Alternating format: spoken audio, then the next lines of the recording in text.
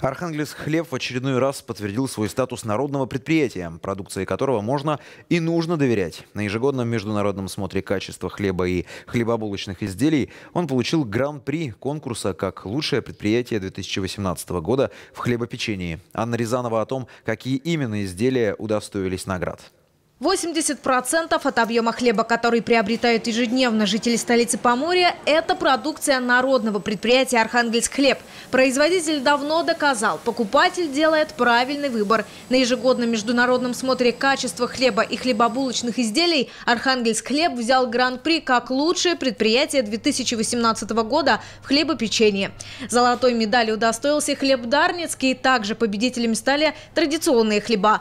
Хлеб пшеничный первого сорта, хлебцы докторские, булочка сдобная, баранки ванильные и пирог праздничный. Серебряную медаль получили дольки сдобные. Всего в выставке принял участие больше 70 предприятий со всей России.